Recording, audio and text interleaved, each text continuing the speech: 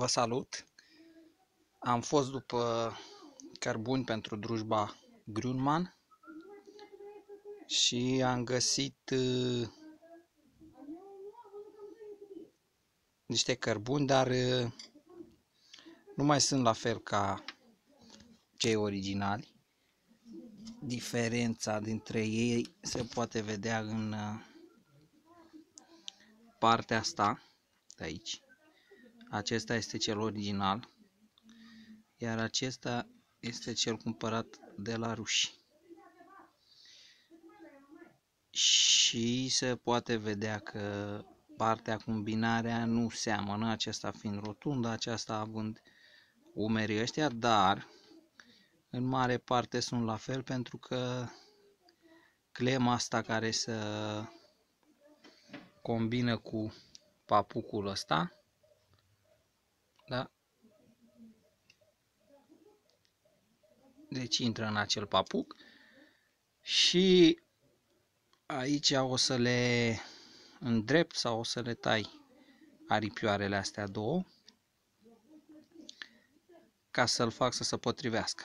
Altă problemă ar mai fi faptul că nu, nu se potrivesc la, la gaură, să zic așa sunt puțin mai lați.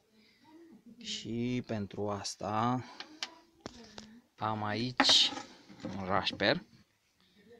Am să îi rad puțin pe rașperul ăsta până îi fac să intre la, la loc. Am să pun telefonul aici ca să și filmez.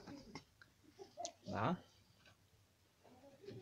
Și am să-l rad după cum se vede, rămâne pe, pe rașper.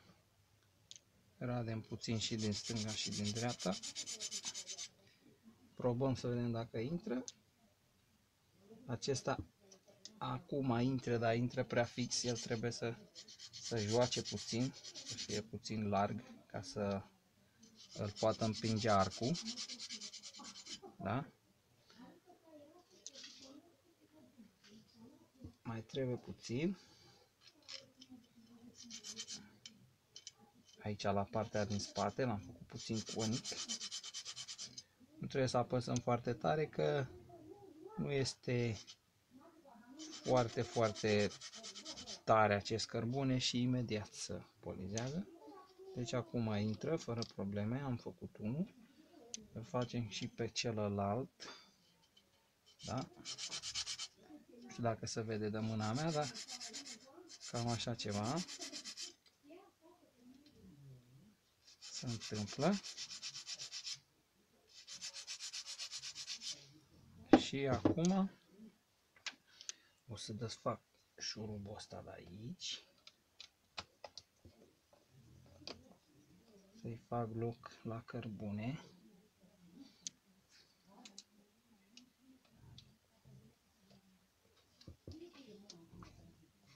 Așa. Cobor asta în jos și să vedem dacă intră, da? Vedeți, ele conic, mai trebuie polizat puțin aici în spate, ca să intre ușor.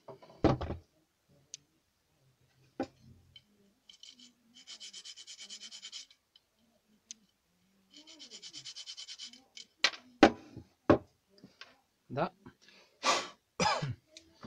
Să vedem acum. Deci, tot mai trebuie puțin. să vede că nu, nu intră cum trebuie.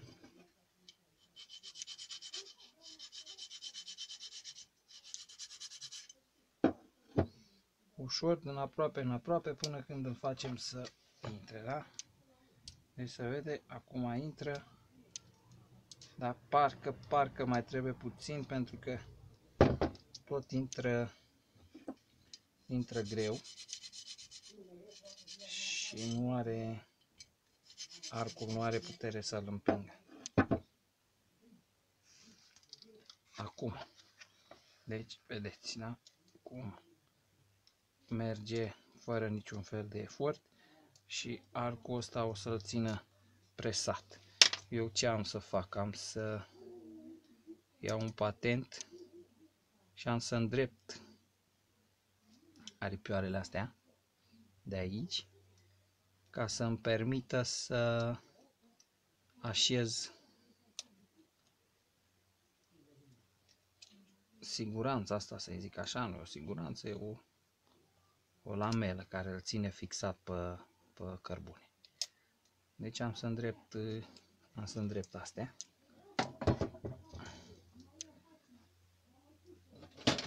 Mă duc să iau un patent că nu l-am aici.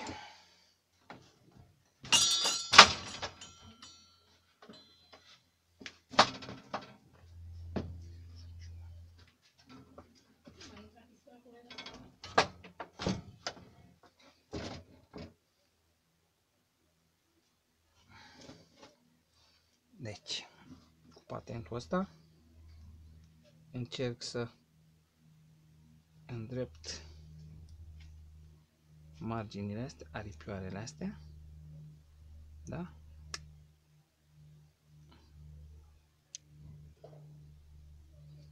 Le-am îndreptat și acum să vedem dacă ne permite să punem cărbunele, da? Acum a intrat la loc și vedem că aripioarele astea nu ne dă voie să așezăm clema peste ele și atunci o să trebuiască să le să le tai, să mă rog, să le rup, pentru că sunt alamă și dacă le îndoim de câteva ori, deja s-au s-au rupt. Rupem și pe cealaltă și mai probăm o dată. Sper să se filmeze. Da? Acum presăm arcul și vedem că avem posibilitatea să punem această lamelă care vine fixată cu două șuruburi.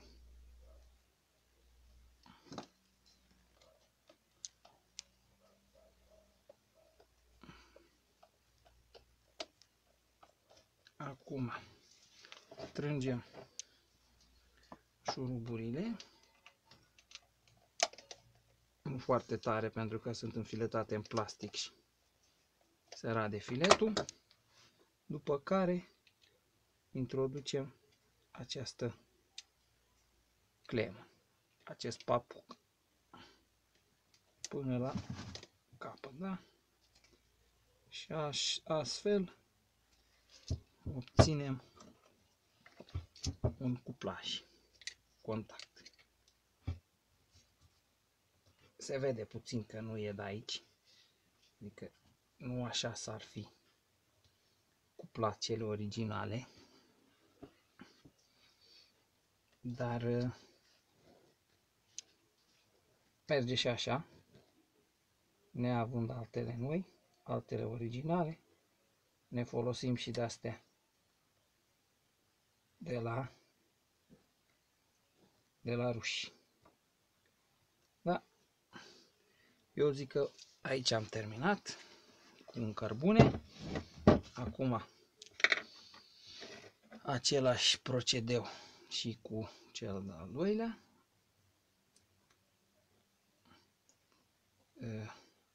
Rupem. Îi rupem aripioarele să nu mai poată să zboare. La fel ca în cântec, fluturaj nu mai are aripioare. Da? Și îl introducem și pe el în gaură, presăm arcul, arc care îl ține presat pe capul colector al rotorului. Și îi introducem și lui șurubul. Strângem șurubul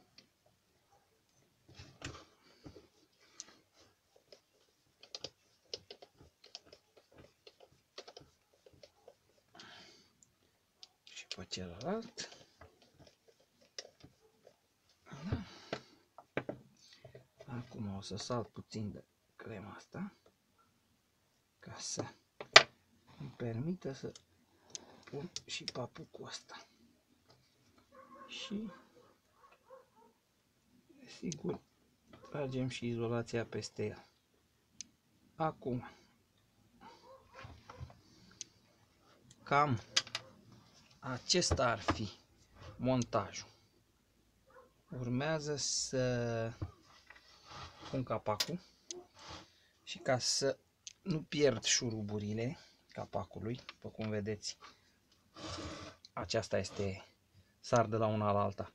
Aici este pompa de, de ulei, am, am curățat-o, bineînțeles, am suflat cu compresorul, aceasta este pompa de ulei care împinge ulei la lanț și ce am făcut eu, ca să nu pierd șuruburile, le-am uh, înfiletat pe, pe poziție unde au fost puse, da?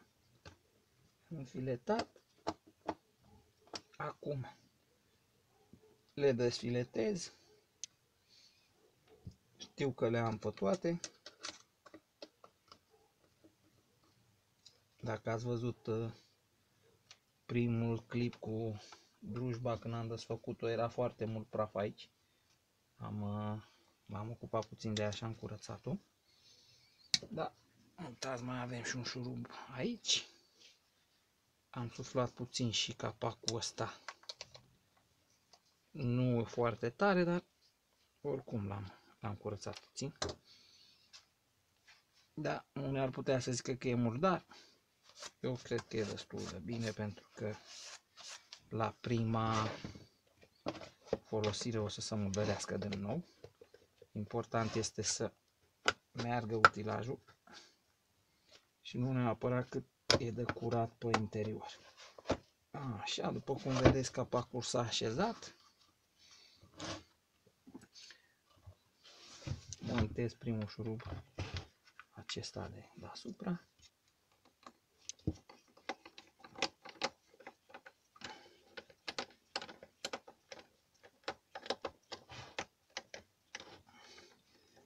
Din nou, nici șuruburile astea nu le strângem exagerat ca să nu uh, stricăm filetul pentru că ele se înfiletează în plastic și automat dacă le strângem foarte tare stricăm filetul și nu are rost. Se strâng așa la simțul mâinii. Pentru că oricum nu o să iasă capacul ăsta de aici nici dacă îl rugăm frumos. La câte șuruburi are. Sunt puțin mai greu de monta șuruburile astea. Poziția fiind mai inconvenabilă. Da. Mai am două, că se pare că data trecută când am mai desfăcut utilajul pierdut unul. Dar nu e vai. Cum am zis, nu pleacă nicăieri de aici. Așa. Și ultimul șurub, după care facem proba să vedem ce am rezolvat. Deci am pus șuruburile toate. I-am pus și șina sub roate. Acum să băgăm prelungitorul. Priză.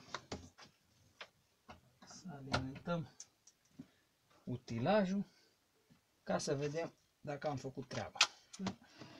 Și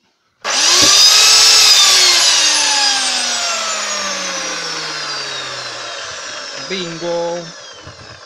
Din câte se vede, pornește.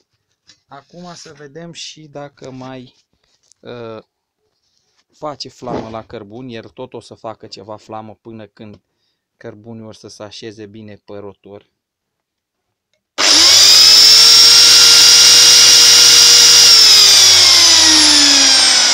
Din câte se vede mai face puține scântei.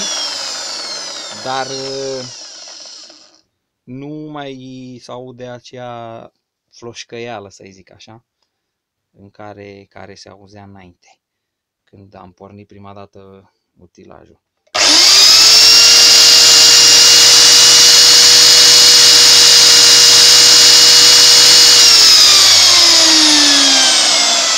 mare parte e normal să fac aceste scântei, dar, cum am spus, până când se vor roda puțin cărbunii și se vor așeza pe, pe capul colector, va mai face aceste scântei.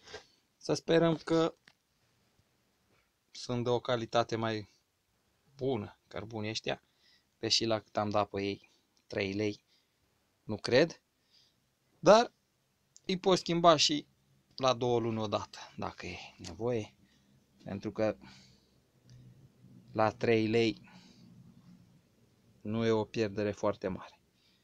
Dacă ține să tai două căruțe de lemne, e suficient.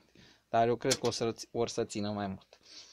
Atât despre utilajul ăsta momentan despre Grunman. Uh, într-o zi când o să am timp vreau să fac un, un clip cu el și cu ferăstrăul meu electric Makita UC 3040A să vedem câteva diferențe. Deocamdată mă opresc aici. Dacă ați avut răbdare să vizionați, vă mulțumesc. Uh, numai bine!